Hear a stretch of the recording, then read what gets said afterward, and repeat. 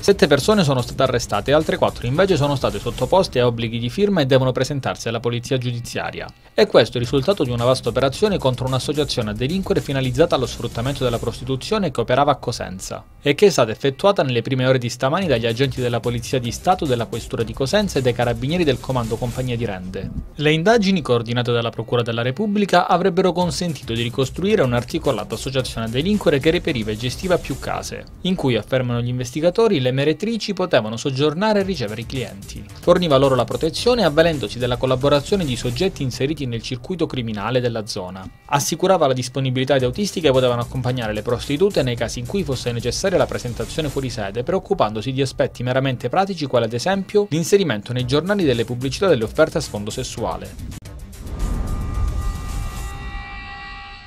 Sappiamo perfettamente che nel nostro ordinamento c'è il principio per il quale si è innocenti fino al terzo grado di giudizio e non ritengo che lo si debba cambiare. Lo ha dichiarato Gianfranco Fini, presidente della Camera, ospite a Cosenza di un incontro organizzato da Future Libertà. Al suo arrivo Gianfranco Fini è stato contestato da un gruppo di appartenenti alla destra. I militanti del partito di Francesco Storace hanno chiesto le dimissioni di Fini per l'uso di parte che viene fatto da una carica dello Stato che dovrebbe invece essere al servizio della Repubblica Italiana, come hanno scritto in un volantino distribuito all'uscita del Cinema Italia.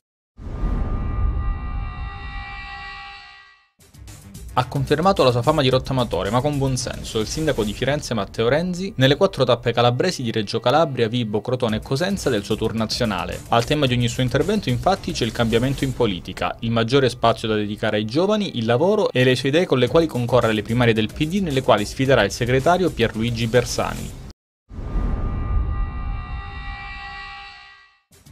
Successo di pubblico per la 32esima edizione della Sagra dell'Uva e del Vino DOC di Donnici che si è svolta nel borgo antico della frazione a pochi chilometri da Cosenza lo scorso weekend.